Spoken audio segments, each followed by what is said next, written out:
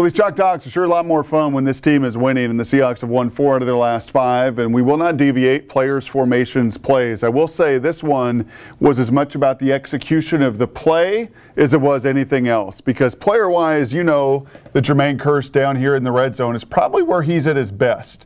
Not going to be a blazer between the 20s, but he has a tremendous feel for coverage when the field condenses, and he does a really good job of using his body through contact. So you are putting Jermaine, I think, in an ideal situation. Formationally, nothing terribly exotic, just a, a tight split down here in the red zone where you're then going to explode and, and, expand the field off of the formation.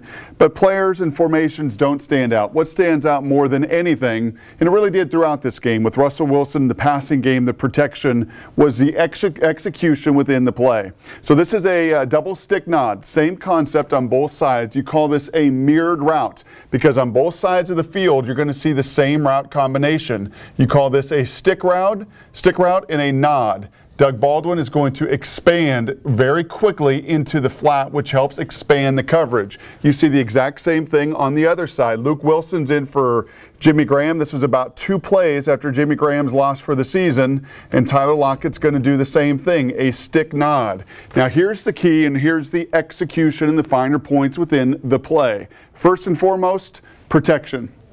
Protection. You can drop any play you want, like Tom Moore said, but you can do it on toilet paper if you can't protect. And this team's protection is where the execution starts. Pittsburgh decides to bring an extra linebacker, well, like they did in many of these passing situations. So they're going to rush five, and they're going to do it um, by bringing a linebacker right up that A gap. So they're going to rush five. The Seahawks release four, and they've got six to protect. Here's the biggest key. Here's where I think Patrick Lewis and this group playing together stands out. You always want to block inside out.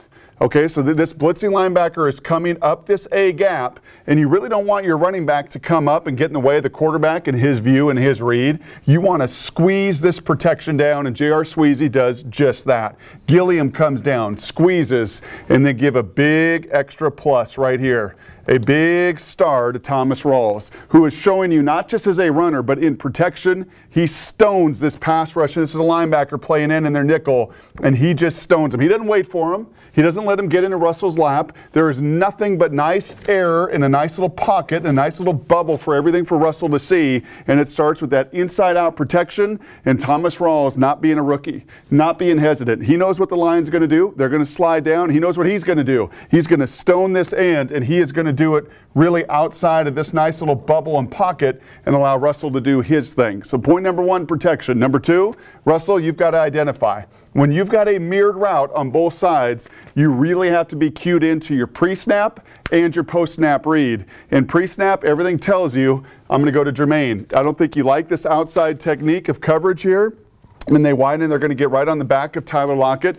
You love how that safety is going to be head up on Jermaine at the snap and allow him to really influence on that out route, that stick nod. And then most importantly, man, you are going to stare this safety down your first two steps. So he receives the ball and watch it. Watch his eyes on tape. He is looking right down the middle of the field. He knows he's going to have this chasm to throw to. He knows he's going to have a bigger window of opportunity the better he stares that thing down. And then he's going to trust. And I think that's the ultimate here in the execution of the Seahawks that I saw on Sunday. He's going to trust protection. He's going to trust the play call. He's going to trust the route that he's going to have the patience, Jermaine, to do a wonderful job to set it up, the body control to come out of it, the ability to protect himself in this window, knowing that contact is coming.